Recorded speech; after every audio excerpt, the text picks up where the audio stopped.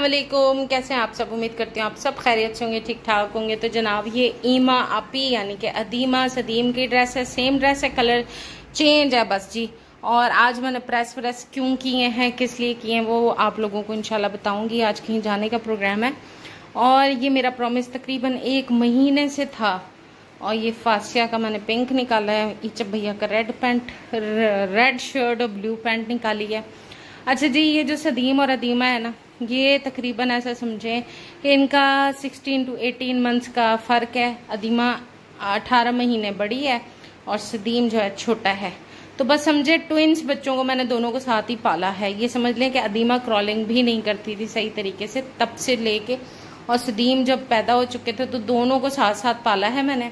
और अदीमा को जो है ना, ऐसा समझें कि इनके पापा ने पाला है। पापा इसकी केयर करते थे बहुत ज़्यादा, इनकी ना अदीमा को। बहुत छोटी थी सीरीलैक वही खिलाते थे, बहुत ज़्यादा ख्याल रखते थे। तो जनाब, ये जो ड्रेस देख रहे हैं ना, ये मेरा है अंगरखा, जो कि पहले भी पहन चुकी हूँ मैं। और एक साल होने वाला है, एक साल के बाद आज फिर से निकाल लिया मैंने ये ड्रेस। और जो भी ड्रेस आने जाने के लिए अक्सर जो मैं पहनती हूँ ना, वही ड्रेस पहनती हूँ, जो मेरे हस्बैंड बड़े शौक से और दिल से लेकर आते हैं। तो आज जो है ना, ये वाला ड्रेस निकाला है और इसकी स्लीव्स मैं दिखा रही हूँ। इसकी स्लीव्स बहुत अच्छी और बड़ी सॉफ्ट पहनने में बड़ा मज़ा आता है।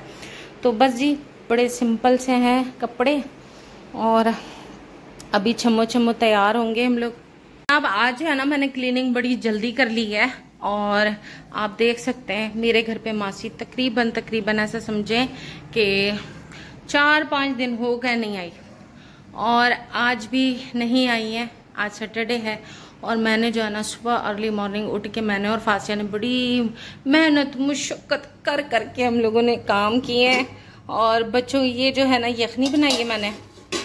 और क्यों बनाई है ये भी बताती हूँ आप लोगों को। साथ साथ जो है ना, आप लोगों को दिखाती रहती हूँ। ये देखें जी, मैंने सारी क्लीनिंग कर ली है। और ये मेरे हस्बैंड के कपड़े जो कि जा ही नहीं रहे सिलने के लिए, बस ख़रीद तो लिए उन्होंने। और ये जो है ना, जाने हैं।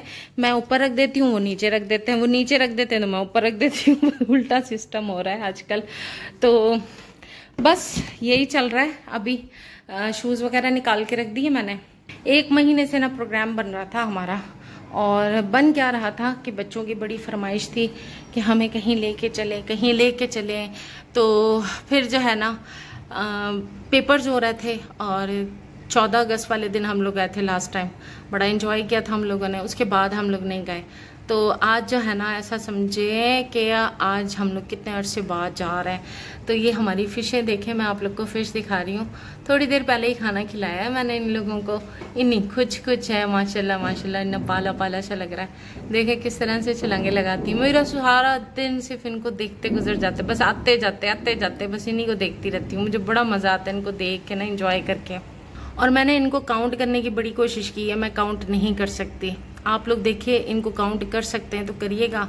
मैंने इनको काउंट करने की बहुत कोशिश की है, कभी ये इधर, कभी उधर, कभी इधर, कभी उधर। ये आगे पीछे हो जाती है, मैंने नहीं की है इनको काउंट अच्छे से।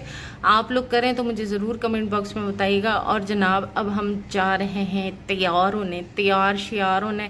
वरना मलिक साहब की कॉल आ जाएगी और फिर मलिक साहब का मूड हो जाएगा ख़राब और फिर हमारी वो वाली क्या बात करते हैं कि मूड ख़राब हो जाएगा तो फिर बातें सुननी पड़ेंगी, बातें सुननी पड़ेंगी तो फिर मूड मेरा भी ख़राब हो जाएगा। तो इससे पहले कि किसी का भी मूड ख़राब हो, चले जी, तैयार होते हैं, फिर आप लोगों से मिलते हैं।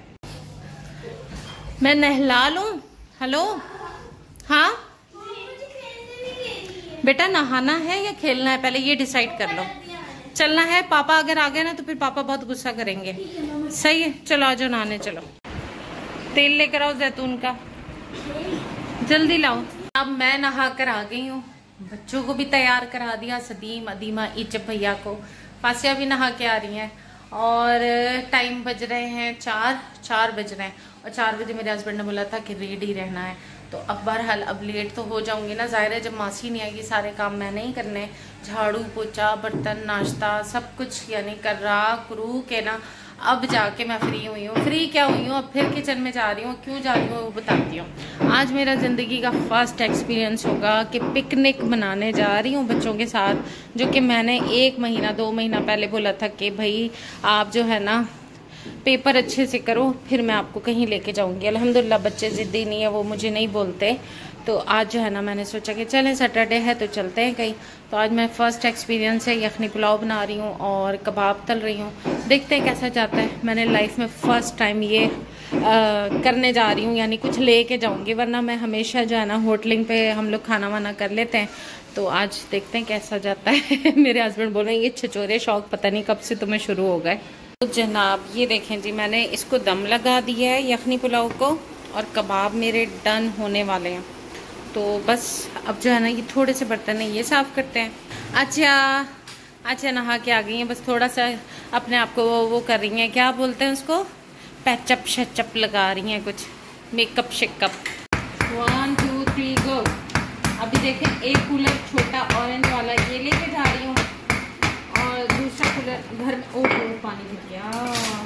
चलो कोई गल नहीं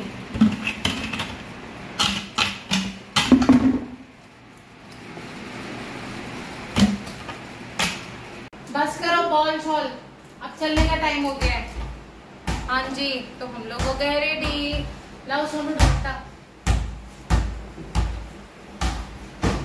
और मैं कैसी लग रही हूँ?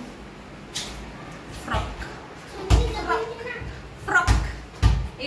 वर्ल्ड में तो वो ऐसा होता है कि वो जब भी ना शादी में किसी की गई है ना, एक दो त्यौहार ऐसे हुए हैं तो वो जितने भी गेस्ट थे ना, सबको बोल रही थी कि गोल गोल गोल गोल घूम के दिखाओ, गोल गोल घूम के दिखाओ।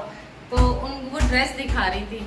बड़ा अच्छा लग रहा था मुझे देख के उनके ना, क्योंकि बॉर्डर पे इतने बड़े बड़े प्यारे प्यारे से काम हुए पड़े थे। तो बस मैं रेडी हो गई हूँ।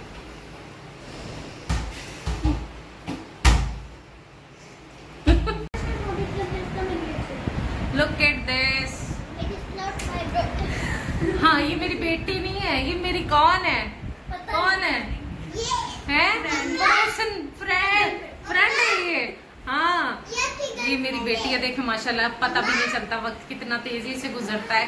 और इलेवन ईयर ओल्ड ग्यारह साल की होगी अल्हम्दुलिल्लाह शुक्र अल्लाह पाक का। और देखे माशाल्लाह मेरे कद के बराबर पहुँच रही है। वैसे मैं तो हूँ ही नाटी और हमारे ससुराल का खानदान ये ऊँचा, यूँ करके देखते हैं मैं यूँ करके देखती तो चले बस रेडी हो गए, चलते हैं। जनाब ये देखें, हम लोग जा रहे हैं। अभी सनलाइट वाला काम तो बाहर वाला खत्म हो गया। प्रोग्राम तो यही था कि हम लोग दिन में पहुँचेंगे, मगर हमेशा मैं रात ही कर देती हूँ। और बस ये देखें, मैंने पुलाव रखा है, कबाब हो गए। चादर हो गई। थोड़ी सी प्लेटें जो कि हम लोग खाना खाएँगे। कूलर हो। गया। बस जी और हम सब हो गए। अब दुआओं में याद रखिएगा वहाँ पहुँच के फिर आप लोग को बताऊँगी मैं कहाँ गई क्यों गई किस लिए गई हो। मेरे हस्बैंड वहीं क्यों लेके जाते हैं और कहीं क्यों नहीं लेके जाते। अल्लाह हाफिज।